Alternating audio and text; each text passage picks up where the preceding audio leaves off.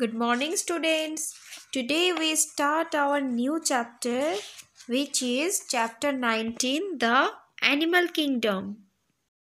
Just like plants, animals too are an essential part of the environment. A huge number of animals inhabit planet Earth.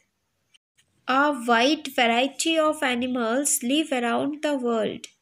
The animal kingdom comprises of millions of different kinds of animals. They live in different places and eat different types of food.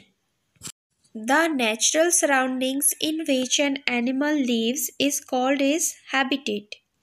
It provides food, water and shelter to the animal. Knowledge time. Forests, wetlands, deserts and grasslands are some of the unique habitats. Different types of animals. Wild animals. Most of the animals are found in jungles. They are called wild animals. We cannot keep them in our homes. Example lion, tiger, deer, hippopotamus, crocodile. Domestic animals. Some animals are kept at our homes or farms because they are useful to us in many ways. Such animals are called domestic animals. Example cow, buffalo, goat, horse, camel. Pet animals.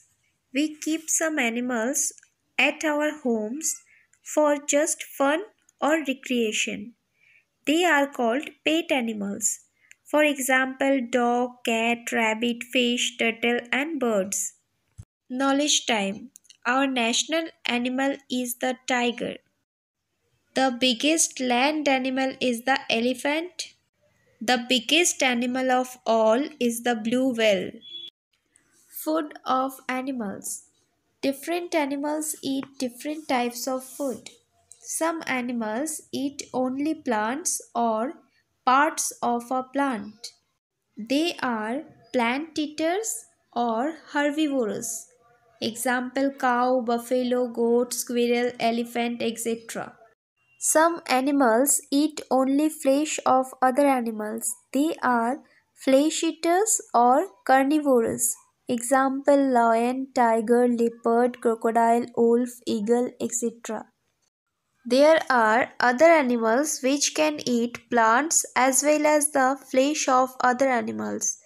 They are omnivorous. Example man, bear, dog, cat, etc.